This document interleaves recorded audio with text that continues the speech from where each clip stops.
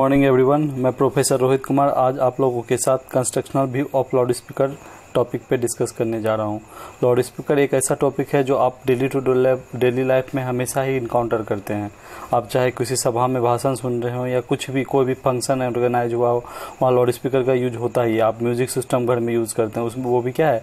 Loud speaker आपका TV है, जिसमें कि आप साउंड सुनते हैं। वो भी क्या एक तरह का लाउड स्पीकर है। इससे पिछला टॉपिक में हम लोगों ने माइक्रोफोन के बारे में बात किया था।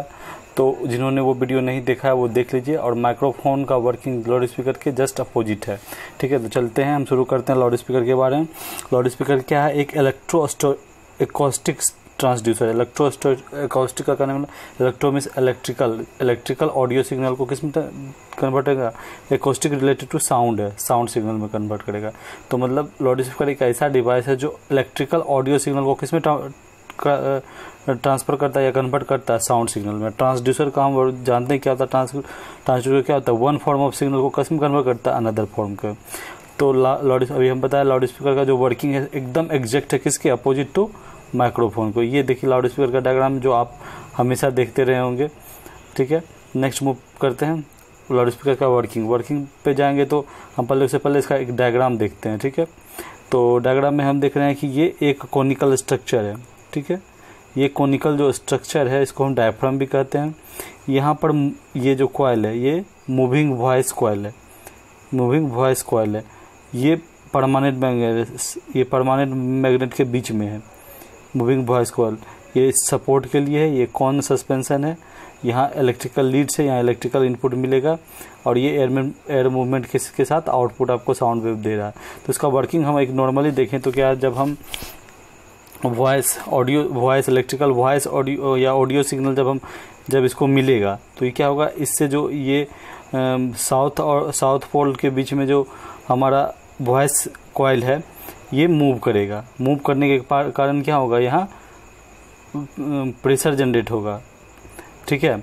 तो उसी को देखते हैं हम। तो सबसे पहले क्या बोल रहा है? लाउड स्पीकर जो है पेपर या प्लास्टिक मोल इंटू कौन सेप है, उसको क्या बोलते हैं? डायफ्राम है। अब वॉइस कॉल क्या होता है? वो जनरली कॉपर का बना होता है मेड ऑफ़ कॉपर वायर और वो डायफ्राम के बैक में यूज़ लगा रहता है, ठीक है? और यहाँ देख सकते हैं कि आप जो यहाँ का डायफ्राम है, हमारा जो माइक्रोफोन के डायफ्राम डायफ्राम से बहुत बड़ा है, ठीक है? अब हम नेक्स्ट पॉइंट पे चलते हैं।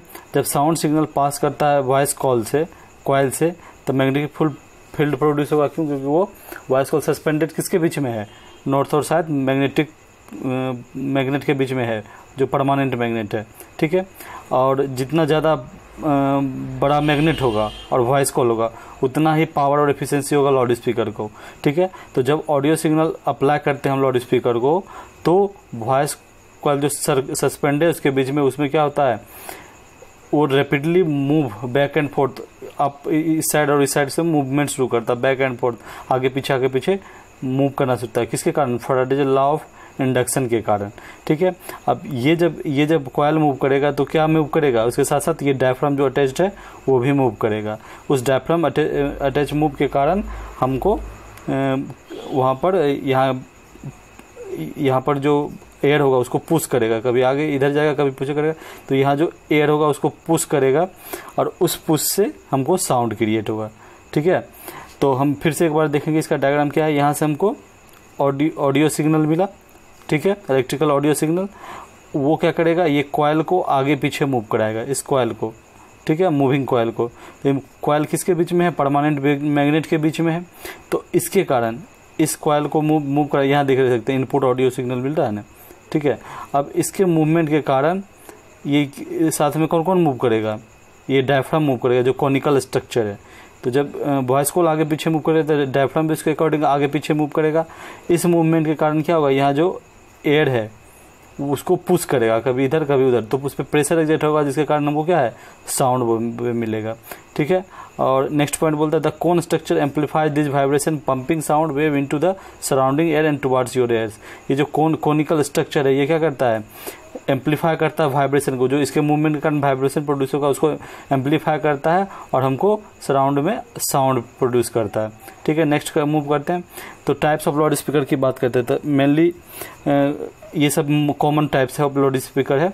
ठीक है तो जो हम पहला जो अभी डिस्कस किए हुए हम डायनेमिक या मूविंग कॉयल है, ये जो सबसे ज़्यादा कॉमनली यूज़ होता है। उसके बाद दूसरा हमारा जो है इलेक्ट्रोडायनेमिक लाउड स्पीकर तो इसका जो वर्किंग है same as dynamic moving coil है तो बस क्या है, वो यहाँ पर हमको इलेक्ट्रोमैग्नेट यूज़ करते हैं।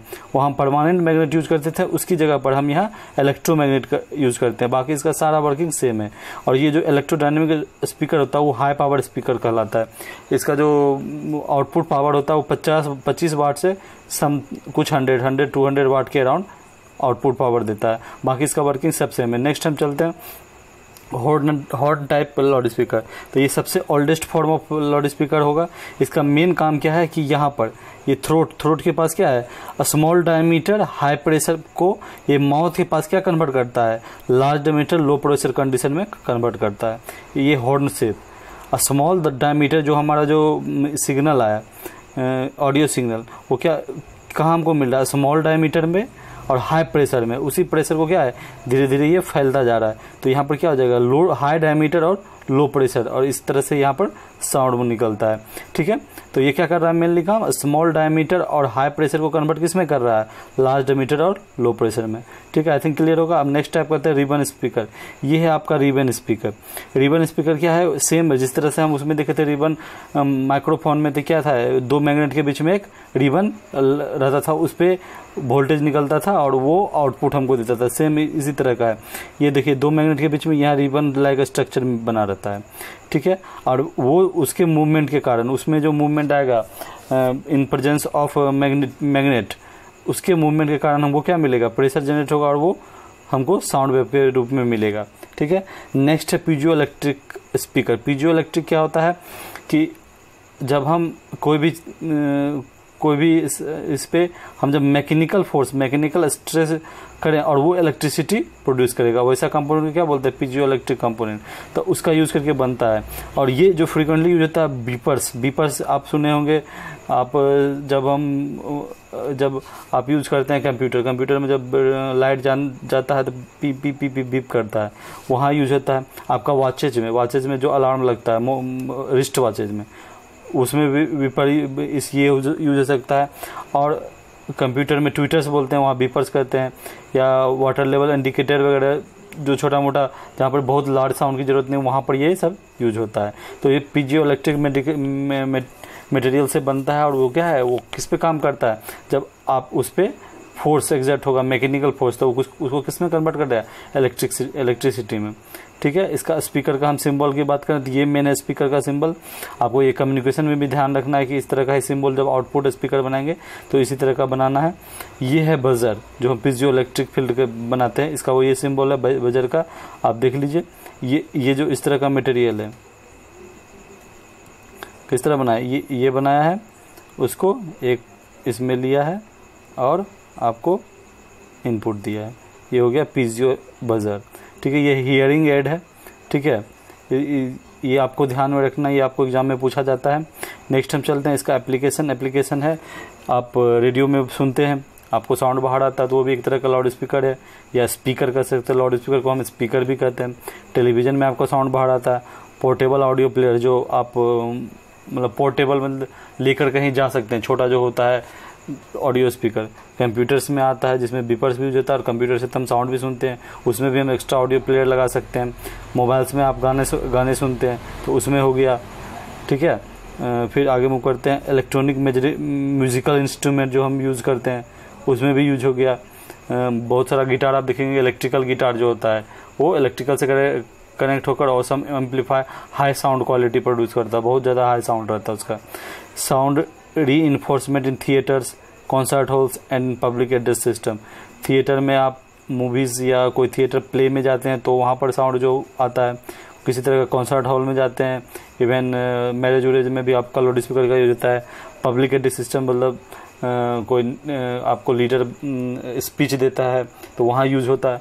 ऐसा बहुत सारा यूज़ है, इस लाउड स्पीकर का यूज़ बताने की ज़रूरत नहीं है। आप लोग बहुत सारे जगह पर लाउड स्पीकर का यूज़ देखेंगे।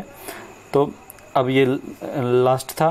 थैंक्स फॉर वॉचिंग होप आपको वीडियो पसंद आया होगा। अगर किसी भी तरह का डाउट हो तो आप कमेंट बॉक्स में कमेंट लिखकर आप अपना डाउट क्लियर कर सकते हैं। आज के लिए इतना ही। Thank you bye bye